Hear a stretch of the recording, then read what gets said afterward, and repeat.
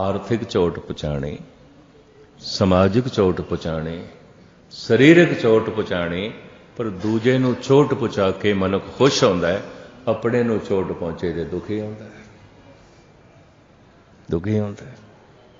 ਤੋ ਬੁਰਾ ਕਰਮ ਤੇ ਜਗਤ ਵਿੱਚ ਵੱਧਦਾ ਜਾ ਰਿਹਾ ਹੈ, ਸਾਰੇ ਜਗਤ ਵਿੱਚ ਦੁੱਖ ਵੱਧਦਾ ਜਾ ਰਿਹਾ ਹੈ। ਦੁੱਖ ਵੱਧਦਾ ਜਾ ਰਿਹਾ ਹੈ। ਮਨੁੱਖ ਛੋਟੀ ਛੋਟੀ ਥਾਂ ਤੇ ਸਾਵਧਾਨ ਨਹੀਂ ਹੁੰਦਾ ਮਹਾਰਾਜ ਕਹਿੰਦੇ ਨੇ, ਸਾਵਧਾਨ ਹੋ, ਨਰ ਅਚੇਤ, ਪਾਪ ਤੇ ਡਰ ਰੇ ਆਮ ਸਜਣਾ ਨੂੰ ਇਸ ਪੰਕਤੀ ਨੂੰ ਵੀ ਪੜਨ ਦੇ ਵਿੱਚ ਮੁਗਲਤਾ ਲੱਗ ਜਾਂਦਾ ਹੈ। ਬਈ, ਅਚੇਤ ਪਾਪ ਤੋਂ ਡਰ। ਪਾਪ ਕਿੱਥੇ ਅਚੇਤ ਹੋਵੇਗਾ? ਕਰਤਾ ਪਾਪ ਦਾ ਕੌਣ ਹੈ? ਅਸੀਂ ਆ ਉਹਨੂੰ ਆਖਿਆ ਜਾ ਰਿਹਾ ਹੈ ਐ ਅਚੇਤ ਮਨੁੱਖ ਪਾਪ ਤੋਂ ਡਰ, ਨਰ ਅਚੇਤ। हे ਅਚੇਤ ਬੰਦੇ हे ਨਾ ਸਮਝ ਬੰਦੇ, ਪਾਪ ਤੋਂ ਡਰ ਕਿਸੇ ਨੂੰ ਚੋਟ ਨਾ ਪੁੱਛੇ। ਕਿਉਂ? ਪੁਛਾਈ ਗਈ ਚੋਟ, ਕਈ ਗੁਣਾ ਵਜ਼ਨੀ ਹੋ ਕੇ ਵਾਪਸ ਆਏਗੀ, ਤੈਨੂੰ ਲੱਗੇਗੀ। ਰੱਬੀ ਨਿਯਮ। ਦਿੱਤਾ ਲਈਏ ਆਪਣਾ ਅਣ ਦਿੱਤੇ ਕਿਛ ਹੱਥ ਨਾ ਜੋ ਤੂੰ ਜਗਤ ਨੂੰ ਦੇ ਰਿਹਾ ਹੈ, ਇਹੀ ਪਲਟ ਕੇ ਵਾਪਸ ਆਏਗਾ।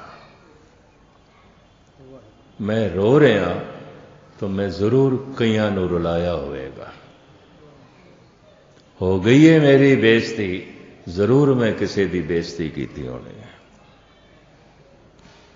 ਇਤੇ ਦਿੱਤਾ ਲਈਏ ਆਪਣਾ ਕਿੱਕਰੀ ਉਗ ਪਏ ਨੇ ਕੰਡੇ ਹੀ ਕੰਡੇ, ਤੋਂ ਮੈਂ ਕਿਕਰਾਂ ਦਾ ਹੀ ਬੀਜ ਬੋਇਆ ਹੋਵੇਗਾ।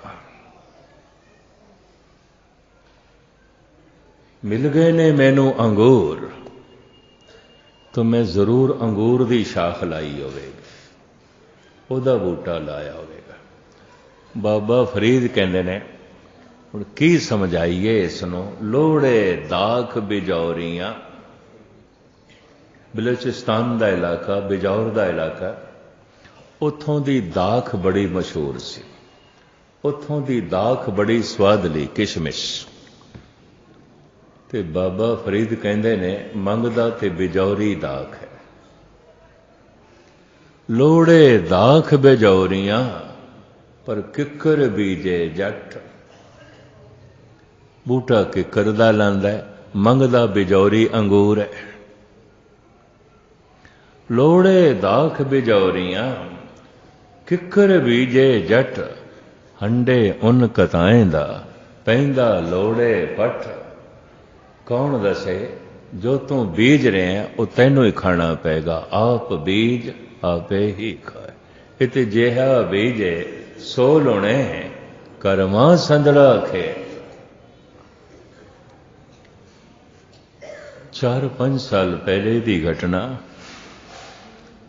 ਅੰਮ੍ਰਿਤ ਵੇਲੇ ਸਾਊਥ ਆ ਲੰਡਨ ਦੀ ਗੱਲ। ਤਿੰਨ ਨੌਜਵਾਨ ਅੰਮ੍ਰਿਤ ਵੇਲੇ ਮੇਰੇ ਕੋਲ ਆਏ। ਇੱਕ ਮਾਸੂਮ ਬੱਚਾ ਉਹਨਾਂ ਦੀ ਗੋਦ ਸੀ। ਜਨਮ ਤੋਂ ਹੀ ਉਹਦੇ ਪੈਰ ਨਹੀਂ ਸਨ, ਹੱਥ ਨਹੀਂ ਸਨ। ਜਨਮ ਤੋਂ ਹੀ। ਔਰ ਗਜ਼ਬ ਦੀ ਗੱਲ ਅੱਖਾਂ ਤੇ ਬਣੀਆਂ ਹੀ ਨਹੀਂ ਸਨ। ਐਵੇਂ ਹੀ ਮੋਹ ਸੀ। ਅੱਖਾਂ ਤੋਂ ਬਿਨਾ ਮੋਹ ਸੀ। ਪਰ ਜ਼ਿੰਦਾ ਮੇਰੇ ਅੱਗੋਂ ਰੱਖਿਆ ਅੰਮ੍ਰਿਤ ਵੇਲੇ। ਮੈਂ ਵੀ ਹੈਰਾਨ ਇਹ ਅੰਮ੍ਰਿਤ ਵੇਲੇ ਆਏ ਨੇ, ਮਾਸੂਮ ਬੱਚਾ ਮੇਰੇ ਅੱਗੋਂ ਬਿਲਕੁਲ ਡਰਾਉਣਾ ਜੀ ਮੈਨੂੰ ਕਹਿਣ ਲੱਗੇ ਗਿਆਨੀ ਜੀ, ਤੁਹਾਡੇ ਕਰਮ ਸਿਧਾਂਤ ਨਾਲ ਅਸੀਂ ਸਹਿਮਤ ਨੇ। ਜੋ ਤੁਸੀਂ 15 ਦਿਨ ਸਿਰ ਖਪਾਈ ਕਰਦੇ ਰਹੇ ਹੋ। ਮੈਂ 15 ਦਿਨ ਕਰਮ ਫਿਲਾਸਫੀ ਤੇ ਬੋਲਿਆ ਸੀ। ਪਹਿਲੇ ਦੱਸੋ, ਇਸ ਬੱਚੇ ਨੇ ਕੀ ਕੀਤਾ ਅਗਰ ਇਹ ਜ਼ਿੰਦਾ ਰਿਹਾ, ਜੀਵਨ ਭਰ ਦੁਖੀ ਰਹੇਗਾ, ਮਾਂ-ਬਾਪ ਵੀ ਦੁਖੀ ਰਹਿਣਗੇ। ਇਸ ਨੇ ਕੀ ਕੀਤਾ? ਇੱਥੋਂ ਸਪਸ਼ਟ ਹੋ ਗਿਆ, ਕਰਮ ਸਿਧਾਂਤ ਤੁਹਾਡਾ ਗਲਤ ਹੈ। ਕਰਮ ਫਿਲਾਸਫੀ ਨਿਰੀ ਝੂਠ ਹੈ। ਕੀ ਕੀਤਾ ਇਸ ਨੇ ਮੈਂ ਕਿਹਾ, ਗਜ਼ਬ ਦੀ ਗੱਲ। ਪਹਿਲੇ ਵਿਚਾਰ ਵਟਾਂਦਰਾ ਕਰਨ ਦਾ ਢੰਗ ਤੇ ਸਿੱਖੋ ਸਵਾਲ ਵੀ ਆਪ ਕਰ ਲਿਆ, ਜਵਾਬ ਵੀ ਆਪ ਦੇ ਦਿੱਤਾ। ਵਿਚਾਰ ਵਟਾਂਦਰਾ ਇਹ ਹੁੰਦਾ ਹੈ, ਆਪਣੇ ਵਿਚਾਰ ਰੱਖਣੇ, ਦੂਜੇ ਦੇ ਵਿਚਾਰ ਸੁਣਨੇ। ਤੁਸੀਂ ਤੇ ਸਵਾਲ ਵੀ ਖੁਦ ਕਰ ਦਿੱਤਾ ਹੈ ਤੇ ਜਵਾਬ ਵੀ ਖੁਦ ਲੈ ਦਿੱਤਾ ਹੈ ਇਸ ਨੇ ਕੀ ਕੀਤਾ ਹੈ ਕੁਝ ਵੀ ਨਹੀਂ ਕੀਤਾ। ਲਿਆਜਾ ਕਰਮ ਸਿਧਾਂਤ ਗਲਤ। ਮੈਂ ਕਿਹਾ, ਗੱਲ ਸੁਣੋ। ਕਰਮ ਮਨੁੱਖ ਮਰਦੇ ਦਮ ਤੱਕ ਕਰਦਾ ਹੈ। ਰੋਜ਼-ਰੋਜ਼ ਜੀਵਨ ਦਾ ਚੋਲਾ ਛੋਟਾ ਹੁੰਦਾ ਜਾ ਰਿਹਾ ਹੈ। ਰੋਜ਼-ਰੋਜ਼ ਕਰਮਾਂ ਦੀ ਖੇਤੀ ਵੱਡੀ ਹੁੰਦੀ ਜਾ ਰਹੀ ਹੈ, ਵੱਡੀ ਹੁੰਦੀ ਜਾ ਰਹੀ ਧਰਤੀ ਕਰਮਾਂ ਦੀ ਵੱਡੀ ਹੁੰਦੀ ਜਾ ਰਹੀ ਹੈ। ਬੋਏ ਹੋਏ ਬੀਜ ਜ਼ਿਆਦਾ ਹੁੰਦੇ ਜਾ ਰਹੇ ਕੁਝ ਅਸੀਂ ਖਾਈ ਜਾ ਰਹੇ ਹਾਂ, ਫਿਰ ਵੀ ਫਸਲ ਵੱਧਦੀ ਜਾ ਰਹੀ ਹੈ। ਇੱਕ ਦਿਨ ਚੋਲਾ ਮੁੱਕ ਜਾਂਦਾ ਹੈ, ਬੀਜੇ ਹੋਏ ਬੀਜ ਰਹਿ ਜਾਂਦੇ ਨੇ। ਉਹ ਜੋ ਬੀਜੇ ਹੋਏ ਬੀਜ ਰਹਿ ਜਾਂਦੇ ਨੇ ਉਹਨਾਂ ਹੀ ਕੀਤੇ ਕਰਮਾਂ ਕਰਕੇ ਕਰਮੀ ਆਵੇ ਕਪੜਾ, ਫਿਰ ਕਪੜਾ ਮਿਲਦਾ ਫਿਰ ਚੋਲਾ ਮਿਲਦਾ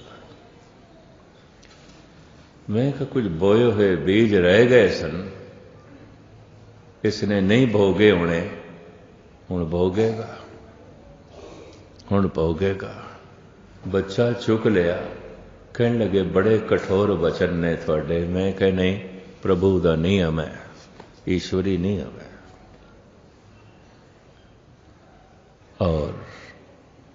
ਮੈਂ ਮਕਈ ਬੀਜ ਦੇਵਾਂ ਤੇ ਫਿਰ ਆਖਾਂ, ਪ੍ਰਭੂ, ਮੇਰੇ ਕੋਲ ਭੁੱਲ ਹੋ ਗਈ ਹੈ ਚਲੋ ਬੋਈ ਤੇ ਮੈਂ ਮਕਈ ਹੈ ਪਰ ਤੂੰ ਕਣਕ ਪੈਦਾ ਕਰ ਦੇ। ਰੱਬ ਨੇ ਇਹ ਆਖਣਾ ਨਹੀਂ, ਅਸੀਂ ਆਪਣਾ ਵਿਧਾਨ ਨਹੀਂ ਬਦਲਦੇ।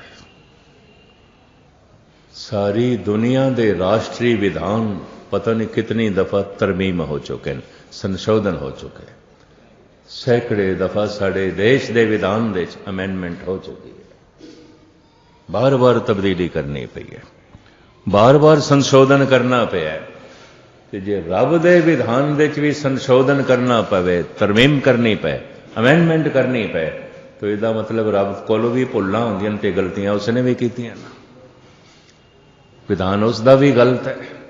ਅਟਲ ਵਿਧਾਨ ਹੈ ਔਰ ਅਟਲ ਸੁਲਤਾਨ ਹੈ। ਦੱਦਾ ਦੋਸ ਨਾ ਦੇਉ ਕਾਹੂ, ਦੋਸ ਕਰਮਾ ਆਪਣਿਆ। ਸਰੀਰ ਦਾ ਚੋਲਾ ਰੋਜ਼-ਰੋਜ਼ ਛੋਟਾ ਹੋ ਰਿਹਾ ਹੈ। ਕਰਮਾਂ ਦੀ ਫਸਲ ਰੋਜ਼-ਰੋਜ਼ ਵੱਧਦੀ ਜਾ ਰਹੀ ਹੈ। ਝੋਲੀ ਰੋਜ਼-ਰੋਜ਼ ਛੋਟੀ ਹੁੰਦੀ ਜਾ ਰਹੀ ਹੈ। ਬੀਜ ਰੋਜ਼-ਰੋਜ਼ ਵੱਧਦੇ ਜਾ ਰਹੇ ਨੇ। ਇੱਕ ਦਿਨ ਝੋਲੀ ਮੁੱਕ ਜਾਂਦੀ ਏ ਪਰ ਬੋਏ ਬੀਜ ਤੇ ਰਹਿ ਜਾਂਦੇ ਫਿਰ ਕਪੜਾ ਮਿਲਦਾ ਫਿਰ ਚੋਲਾ ਮਿਲਦਾ ਕਰਮੀ ਆਵੇ ਕਪੜਾ।